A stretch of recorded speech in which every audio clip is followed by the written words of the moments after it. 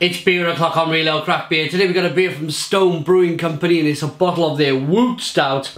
This beer is coming in at a massive 13% ABV.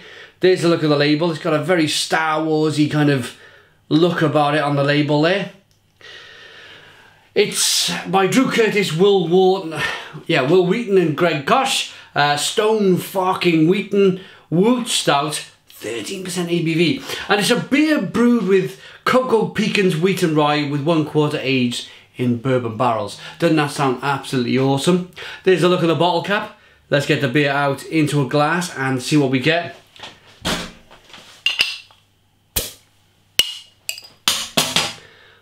Look at the smoke on that opening. For a 13% ABV beer, look at that smoke. Looks awesome. Beer in the glass. Listen to that glug.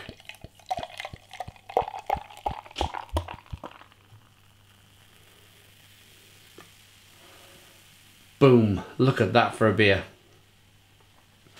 A lovely cocoa tan coloured head. Three finger tan coloured head. Nice levels of moving carbonation. They're slow moving as, as you would expect from a, from a kind of a 13% ABV beer, there's a lot of malt that's been added to this beer. So the kind of carbonation's pushing and it's fighting its way through that kind of sludgy engine oil style ale. It smells good. Looks good. Smell it from here. Jet black beer. Let's get the aroma. You get the cocoa, you get the pecans. It smells wonderful. It's caramel, vanilla. You get the bourbon barrels. That oakiness. It smells just crazy. Let's dive in. Cheers, guys.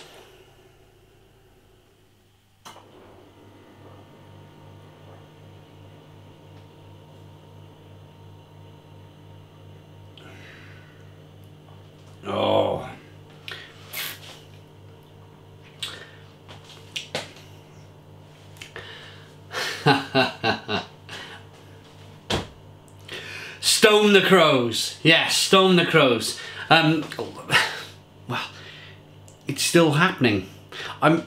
There's so many different flavours going on in this beer that I'm just standing here now, wondering where to start do I start with that wonderful pecan, that wonderful cocoa, the, the slight hint of vanilla? Do I start with the oak barrels? Do I start with that woodiness? Do I start with that lovely creamy velvety mouthfeel? Or do I just just keep spewing out flavours and, and, and orgasmic kind of mouthfeels that, that are coming to me right now?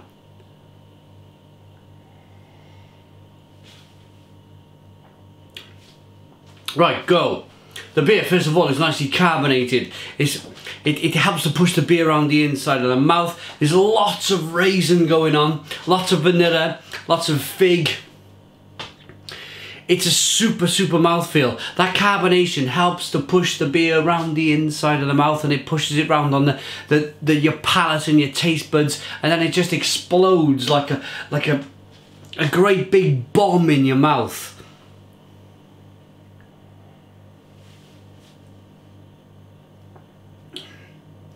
It's like engine oil. It really is like engine oil. It looked like engine oil when I when I was kind of explaining it earlier with a slow moving carbonation. You could you could you could see the mouthfeel in the beer without even trying it. Look as I rock the beer back and forth. Look at that slow moving carbonation chasing that head up the glass.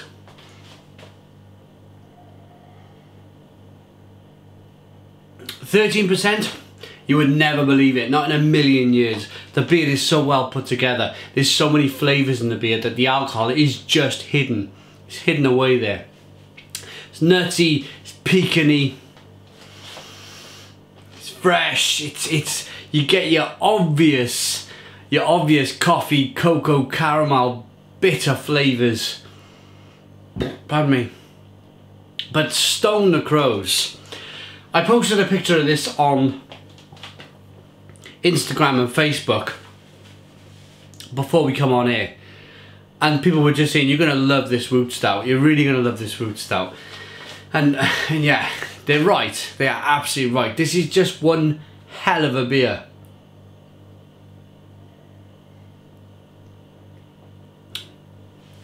I don't want to put it down. I don't want to put it down to talk to you about the collaboration. Um, who who's collaborated with this with this beer? I just want to I just want to stand here drinking it. But we'll quickly go into because it's for me it's a minor detail that it's a collaboration. I just want to stand here drinking the beer, talking to you guys about the beer. Um, so we'll quickly go into it. Uh, Wil Wheaton is an actor and a web celebrity. Uh, Greg Koch is obviously Stone Brewing Company's CEO and co-founder. And Drew Curtis is Fark.com, creator of 2015 KY gubernatorial candidate, whatever that means. So you got three guys collaborating with Stone Brewing Company, and, and that's as far as, for me, as I want to know about the collaboration. I want to stand here now, and I want to get back to this beer, and I want to talk to you more about this beer, because it's absolutely fantastic.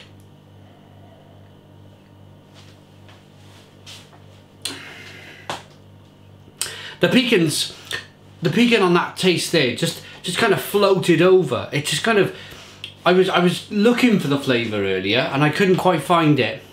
But then the second flavour it just just kind of came over naturally, slowly. But the, by the third flavour, you could it was like a skipping stone. You've thrown that stone across the pond, and it's just kind of skipping over the flavour. There, it's it's, it's first, it's middle, and it's last in the flavour profile. And it kind of hangs around. Um, it's not too sweet. It's not an overly sweet beer. It, it's just a really nice bitter Whoop Whoop Stout.